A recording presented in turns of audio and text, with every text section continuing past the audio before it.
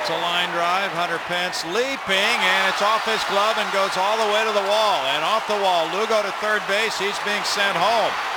Here's the throw, and not in time. Six to five ball game now. Ellsbury to third base. Hunter Pence, that ball absolutely blistered. He's trying to get a read on it. He froze it first, then tried to jump up and catch it and couldn't hold it. He had time to retreat and make a play on the ball, but obviously misread it and then mishandled it.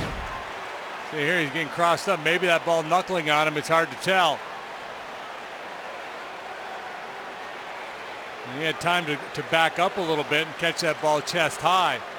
But really well struck by Ellsbury.